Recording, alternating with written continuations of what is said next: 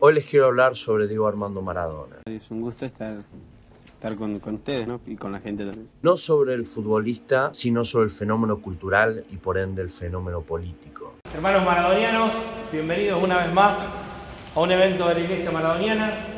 Hoy nos acompañan la familia Rotundo con Walter, con Estela y con sus hijas Mara y Dora.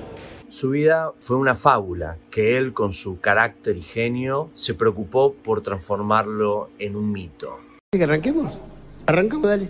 Es ese morochito periférico que lidera a un país que se autopercibía blanco y diferente al resto. Mi, mi primer sueño es jugar en el Mundial y el segundo es salir campeón. Es ese chico que le hace cuatro goles a Gatti cuando él lo denostó que era simplemente un gordito. Le metió dos goles a los ingleses luego de Malvinas. Y que Dios me perdone lo que voy a decir.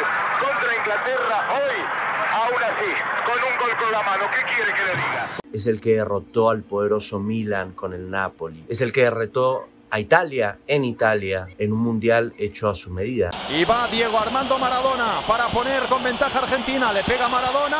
Gol, gol, gol, gol, gol. Es el que criticó a la FIFA cuando nadie lo hacía. Y cada día vamos descubriendo que hay más corrupción, que hay partidos arreglados, que hay árbitros que no cobran lo que tienen que cobrar, hay dirigentes de la FIFA que son multimillonarios. Es el que da todo por sus amigos, todo por sus compañeros, todo por su país, todo. Él se preocupó en construir ese mito. Me considero un, un pibe más, un pibe de 21 años que hace cosas normales, que no, que no le gustan las cosas eh, grandes, sino que me gustan las cosas simples.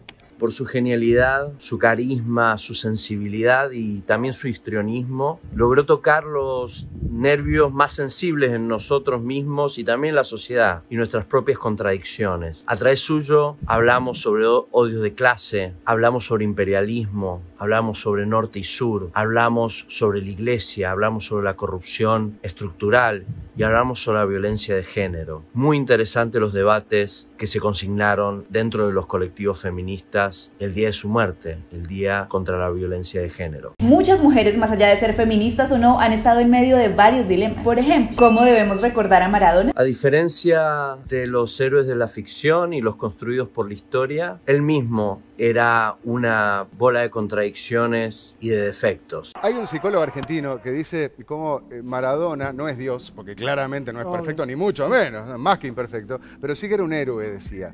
Porque él era el héroe, que era una persona ordinaria, en todo el sentido de la expresión, que hizo cosas extraordinarias. ¿no? Y fue muy generoso en lograr esa centralidad en su persona que colocamos allí todos los problemas de los cuales nosotros también somos partícipes. Decime por quién vas a votar. No, eh, soy un indeciso más.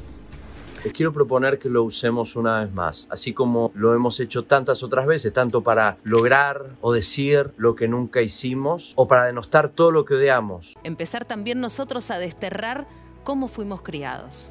¿Qué pensamos? ¿Qué pensaba nuestra familia de Maradona? ¿Qué pensaba nuestra familia del aborto? ¿Qué pensaba nuestra familia de las violaciones? De los crímenes pasionales?